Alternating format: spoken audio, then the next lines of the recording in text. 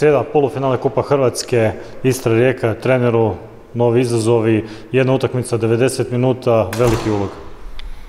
Pa sigurno kup je takvo natjecanje specifično gdje jednostavno treba doći do kraja. Tako da sve prepreke koje su na putu trebamo uspješno prebroditi. E, Istra je ovaj, sigurno nezgodan protivnik, e, međutim prvenstveno gledamo u ovom trenutku sebe da dižemo našu igru i da ovaj, ispravljamo nedostatke u hodu i, i mislim da su na pravom putu. Eto. Gdje je ključ pobjede protiv jedne ekipe ko što Istra? Pa, ove osnovne stvari sigurno angažman, maksimalni želja, volja za, za pobjedom i naravno pripremiti se za njih i za njihove e, kvalitete, da ih neutraliziramo, a to znamo da su izrazno dobri u nekom kontranapadu i da će vrebati tu svoju priliku, tako da moramo te stvari ispriječiti. U principu ovo je jedna od onih utakmica 90 minuta gdje jedna situacija može puno toga odlučiti i vrlo je veliki ulog u takvim situacijama.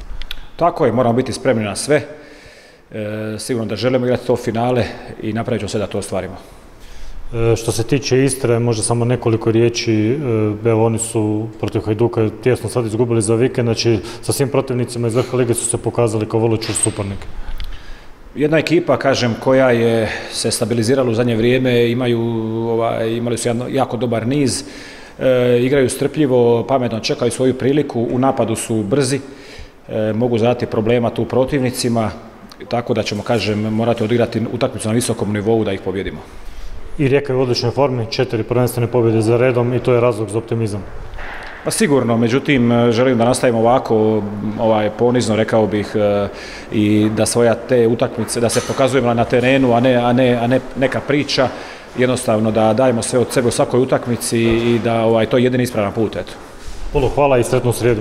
Hvala.